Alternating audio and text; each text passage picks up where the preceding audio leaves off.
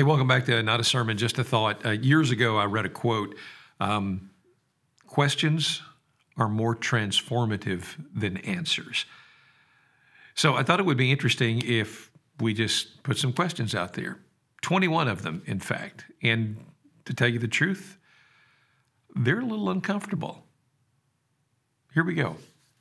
If you substituted Biden for Trump and Trump for Biden in every news story, and social media posts so that everything that had been said and written about the one was suddenly applied to the other, would you still vote the same way? If your side got to decide what is moral and immoral, right and wrong, would you still be terrified of people who impose their views on others?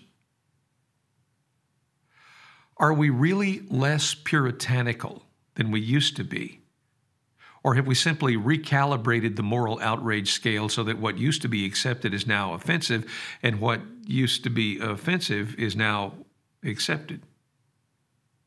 Who gave us the authority to do that? If you can tolerate everyone but the intolerant, how do you define tolerance?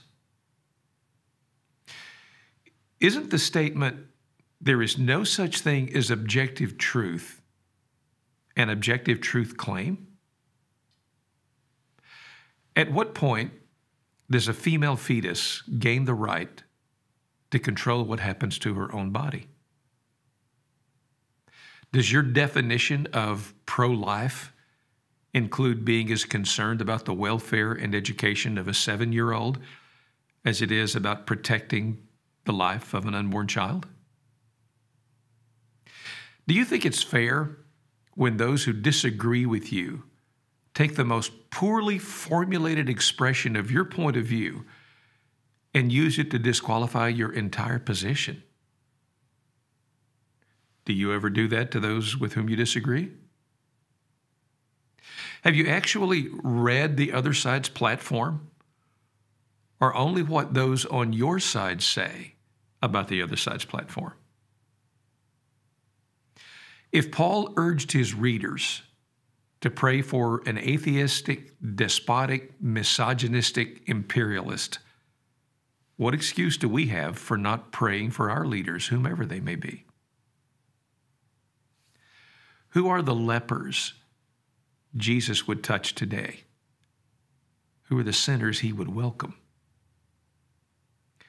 To whom would Jesus say, Go and sin no more? Today? And did your answer to the previous two questions make you uncomfortable? If first century Christianity flourished in an extremely hostile political, social, and cultural environment, why are we Christians so anxious? Is there anything you can do to make God love you more? Then why are you not grateful?